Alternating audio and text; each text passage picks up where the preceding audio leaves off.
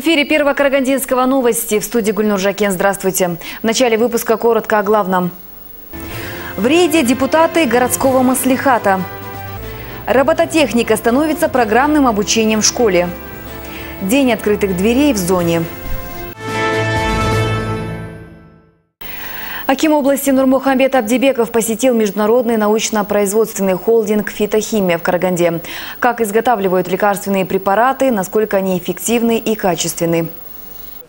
Для развития отечественной фармацевтической промышленности вводятся в эксплуатацию построенные и модернизированные новые фармацевтические предприятия, основанные по стандартам GMP. Отсутствие стандартных образцов в большинстве случаев существенно снижает качество экспертизы и не позволяет своевременно определить фальсификацию лекарственных препаратов. Председатель правления холдинга, академик НАН Республики Казахстан Сергазы Адикенов сообщил главе области, что холдинг и фармацевтический комплекс специализируются на производстве оригинальных лекарственных средств из растительного сырья. Их производственная мощность составляет 2 миллиона ампул, 150 миллионов таблеток капсул и 2 миллиона мягких лекарственных форм оригинальных конкурентоспособных лекарственных препаратов в год. Имеется собственная сырьевая база. В производстве задействовано 165 сотрудников. Выпускается 43 наименования фитопрепаратов, в том числе такие известные лекарственные средства, как арглобин, атеролит, саусалин, экдифит и другие. В рамках программы «Дорожная карта бизнеса-2020» проекту оказана государственная поддержка на сумму более 25 миллионов тенге. Одним из крупных подразделений холдинга «Фитохимия» является ботанический ботанический сад. Э, мы получили хорошую, большую поддержку э, в лице э, главы региона, а именно, прежде всего, это восстановление статуса ботанического сада, Карагандинского ботанического сада при холдинге фитохимии.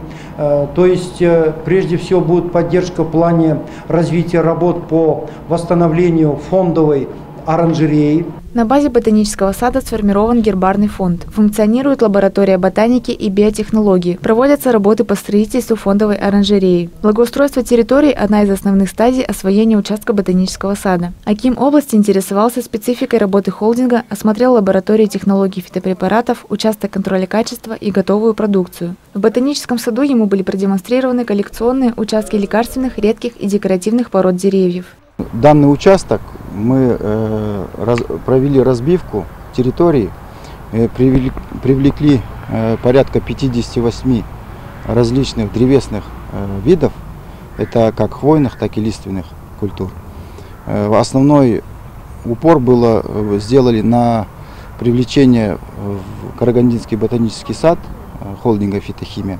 Это с России, потом с Америки, и редкие э, исчезающие виды нашего Казахстана. Заключены договора с европейскими компаниями на постановку оборудования и приборов микробиологической, биохимической и физико-химической лаборатории. Поставка оборудования ожидается в конце 2014 года. С выходом на проектную мощность в третьей очереди будет выпускаться 2 миллиона упаковок лекарственных средств в год. Лариса Хусейнова, Айдин Жакан, Арман Нартаев, Первый Карагандинский. Успевают ли подрядчики к сроку строить в Караганде жилье по госпрограмме? И как тратятся бюджетные средства на ее реализацию? Сегодня депутаты Карагандинского городского маслихата знакомились с ходом строительства многоквартирных жилых домов, которые возводятся по программе «Доступное жилье». Вместе с ними на объекты выезжала и наша съемочная группа. Когда доступное жилье станет доступным для претендующих на него горожан и как подрядчики тратят на строительство бюджетные деньги. Местные депутаты сегодня знакомились с тем, как возводят в Караганде многоквартирные жилые дома по госпрограмме. Первым делом посетили строящийся жилой комплекс в микрорайоне Шапагат, на месте которого ранее была Бесаба. Строительство здесь началось в 2012 году. Тогда одной из подрядных организаций стала компания «Отан», которая доверили строить блок секции номеров 3-4. Однако строители дело до конца так и не довели. Сегодня народных избранников встречали специалисты фирмы «Сартан». Они строят блок секции с 8 по 11. Как рассказали депутатам, на возведение дома были выделены 2 с лишним миллиарда тенге. Из них чуть меньше половины бюджетные деньги. После сдачи в эксплуатацию в 10-этажном четырехблочном доме будут жить 160 карагандинских семей. Подрядчики заверили, что к концу текущего года управятся. Если они обязаны положить э, пол, допустим, ламинат или что. Варианты вот эти не э, заказчиком у вас мы не просматриваете, что, а вдруг вот захотел, я не хочу здесь ламинат, я буду стелить, допустим, пол или линолеум просто на это. Не, ну эти вопросы, в принципе, возможно согласовать, то есть такого характера с заказчиком, но только без ущерба, опять же, цены. На сегодняшний день 70% строительных работ в этих блок-секциях уже закончены. Осталось вставить окна и двери. Депутаты поинтересовались, как будут отапливаться многоквартирные дома и не возникнут ли проблемы. Вот давать вы чем будете? Стекло, э, транзитом уже будут подключения? Ну да, внутри же тепло уже идет, то есть через нашу заводится теплотрасса, трубы с той стороны заходят, и они идут через дом, то есть у нас выхода есть на тепло. Следующим объектом стала многоэтажка на проспекте Шахтеров 37. Здесь тоже строительство началось два года назад. Компания «Оливия» уже почти управилась, даже начала работы по благоустройству. Сказали депутатам, что сдадут жилье в эксплуатацию в конце нынешнего октября. Квартиры э, скольки комнатные? Здесь тут одна и двухкомнатная. Получается, в подъезде идет четыре квартиры, две однокомнатные, две двухкомнатные. Народные избранники также побывали в микрорайоне Панель-Центр и на улице Белинского, что в Майкудуке, с той же целью, что и на предыдущих объектах. Народные избранники напомнили подрядчикам, что главное не только построить жилье в срок, но и качественно так как от этого зависит благополучие и безопасность горожан. Все увиденное депутаты обсудят вместе с чиновниками и подрядчиками на совместном заседании. Гульнур Жакен, Айден Жакан, Бахтияр Успанов, Первый Карагандинский. С 1 сентября текущего года вводится в действие закон Республики Казахстан от 30 июня 2014 года об амнистии граждан Республики Казахстан, уралманов и лиц, имеющих вид жительства в Республике Казахстан в связи с легализацией ими имущества.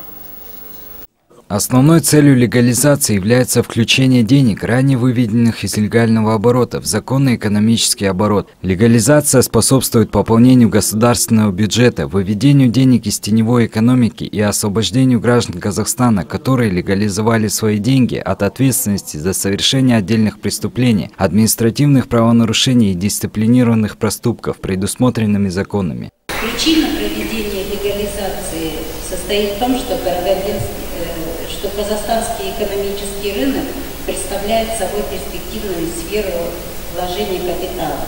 В связи с развитием и становлением рыночных отношений э, в Казахстане, а также в условиях растущей международной взаимозависимости экономических отношений, роли и значения финансового положения граждан значительно выросла и продолжает расти. Благодаря легализации денег люди получат возможность участвовать в экономических процессах. Граждане будут иметь выбор инструментов для легализации денег. Во-первых, деньги можно хранить в банках второго уровня в течение пяти лет, получая при этом вознаграждение. Во-вторых, при желании досрочного использования денег их можно инвестировать в экономику путем приобретения ценных государственных бумаг. В-третьих, граждане могут приобрести объекты в рамках второй волны приватизации. Вы обратили внимание на статистику которые она привела.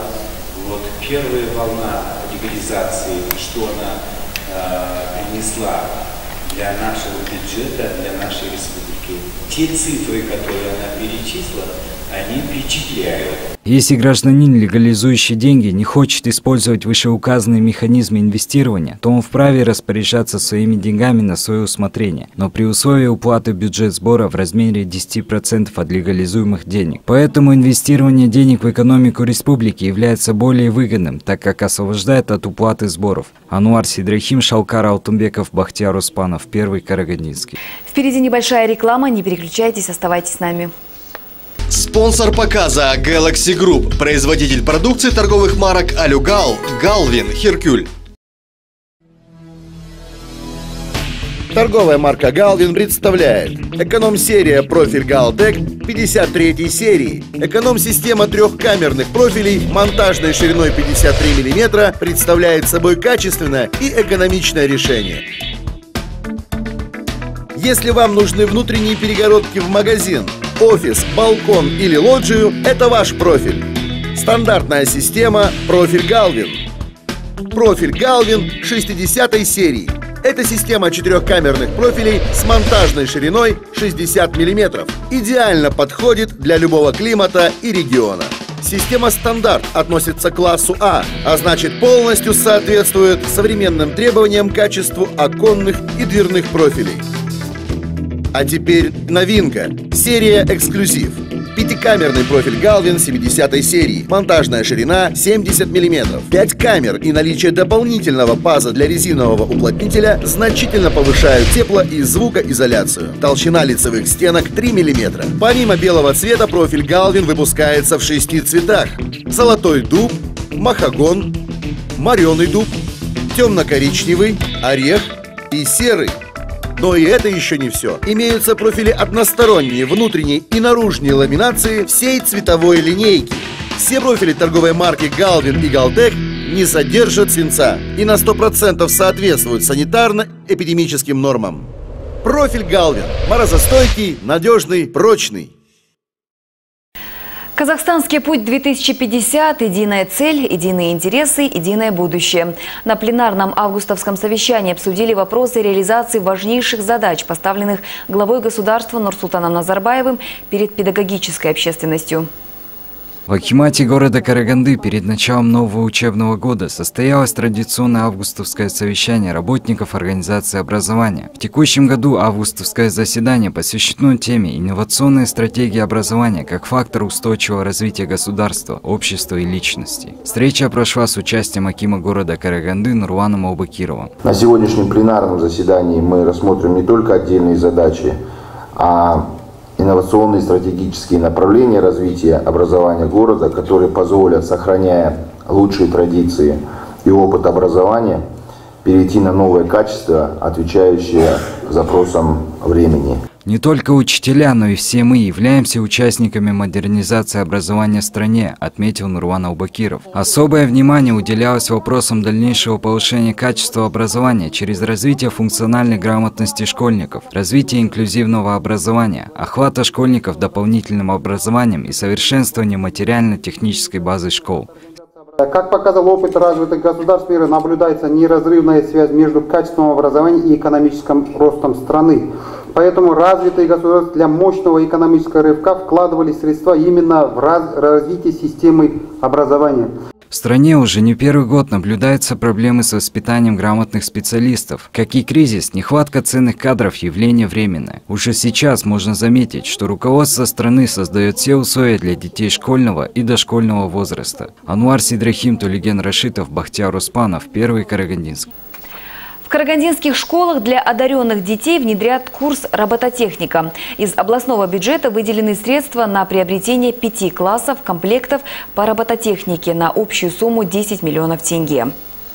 В этом учебном году в школах для одаренных детей Караганды появился курс робототехника, сообщил руководитель управления образования Карагандинской области Асхат Аймагамбетов. Партнером выступает российская компания RoboEd, являющаяся резидентом фонда Сколково. Образование должно меняться в зависимости от реалий современности. Наши дети живут в наукоемком, технологичном, насыщенном информацией и коммуникациями мире. И сегодня у них вызывает интерес компьютерное программирование и современное конструирование, мехатроника и робототехника. Задача школы – развивать у школьников потребность в приобретении современных технических знаний, что особенно актуально в преддверии выставки «Экспо-2017», отметил Асхат Аймагамбетов, выступая с докладом на традиционном августовском совещании работников образования. В Казахстане проходит масштабная акция «Мәңгілік ель» по пропаганде государственного языка. Караганда тоже приняла участие в решении глобальной задачи по практическому применению казахского языка. Послание президента страны «Казахстанский путь-2050. Единая цель, единые интересы, единое будущее» направлено и на то, чтобы каждый школьник знал казахский, русский и английский языки. Результатом обучения школьников должно стать овладение навыков критического мышления, самостоятельного поиска и глубокого анализа информации. Но с развитием Казахстана повышается роль национального языка как первоисточника социальных преобразований. В проведении широкой информационной работы по пропаганде государственного языка охвачены все регионы страны. В рамках этой акции будут распространяться брошюры как на русском, так и на казахском языке, чтобы любой житель нашей страны, вне зависимости от национальности, мог понять и также изъясниться с любым прохожим. В этот раз во всех крупных городах Казахстана решено использовать как пропагандистский прием торгово-развлекательные центры. Ведь именно здесь собираются и встречаются люди разных возрастов и разных национальностей. Здесь удобнее раздавать популярные брошюры по изучению государственного языка на бытовом уровне. А знание – это не просто сила, это шаг к пониманию друг друга. Сергей Высокосов, Айдын Жакан, Бахтияр Успанов, Первый Карагандинский. В областном департаменте уголовно-исполнительной системы уже в четвертый раз проходит ежегодный день открытых дверей. Родственники и друзья в этот день могут посмотреть, как живут заключенные. Любящие мамы, верные жены, совсем маленькие дети и внуки. Все они пришли к своим близким в исправительное учреждение 159-5. Для людей, лишенных свободы, сегодня праздник. Не так часто заключенные могут увидеть своих родных и знакомых. Сегодня День открытых дверей, как правило, проводится уже третий раз. Начиная с 2012, 2012 года, 2013-2014 год. Это делается для того, чтобы, во-первых, э, родственники, э, как говорится, нашего контингента, который здесь находится, поддерживали связь видели наглядно, в каких они условиях отбывают наказание. В колониях делается ремонт многих помещений. На данный момент ведется капитальный ремонт в банно-прачечном комбинате. Условия для заключенных тут хорошие. Лимит наполнения учреждения составляет 1010 человек. На сегодняшний день содержится 744 осужденных. Для того, чтобы попасть на день открытых дверей, можно написать письмо или позвонить руководству. Количество посетителей не ограничено. Впечатление у меня очень хорошее впечатление. Мне кажется, до такой степени тут все как э, администрация с ними это все расстроено, все как стараются для них все. И мне кажется, им тут так понравится. Ну, желательно, чтобы не нравилось сильно. В день открытых дверей для заключенных и гостей устраивают концертную программу и обход по отрядам. На базе учреждения для заключенных работают школы. Они даже могут получить образование и, отбыв срок, работать по выбранной специальности. Гуманизация исправительной системы дает возможность для отбывающих срок начать жизнь заново, но не с чистого листа, а с накопленным профессиональным и социальным опытом. Лариса Хусейнова, Шалкар Алтынбеков, Бахтияр Успанов, Первый Карагандинский. Карагандинец Аблайхан Жусупов стал олимпийским чемпионом. Наш боксер одержал победу в финале второй юношеской олимпиады в Нанкине. В сложном бою против кубинского спортсмена Алана Лимонти Бадата наш боксер одержал победу. Это победа и Карагандинской школы бокса. И в завершении выпуска объявления городского маслихата. Карагандинцев приглашают на очередные публичные слушания по наименованию нескольких улиц в Кунгее и в районе старого аэропорта. Уважаемые карагандинцы, доводим до вашего сведения, что в соответствии с поступившим постановлением Акимата города Караганды о внесении на рассмотрение Карагандинского городского маслихата материалов по присвоению наименований улицам города Караганды, постоянной комиссии по вопросам прав человека, законности, этики, наград, регламента, наименований наименований и переименований Карагандинского городского маслихата объявляются публичные слушания по вопросам наименования улиц микрорайона Кунгей, микрорайона Городской аэропорт. В связи с этим приглашаем вас принять участие в публичных случаях, э, слушаниях, которые будут проведены 10 сентября текущего года в 18 часов по адресу город Караганда, улица Муканова, 41, здание химического факультета Каргу имени Букетова. Регистрация участников начинается в 17 часов. Это были все новости на сегодня. Если у вас есть интересная информация, звоните нам по телефону 42 06 49. Всего доброго, Аман Сауболнгстар.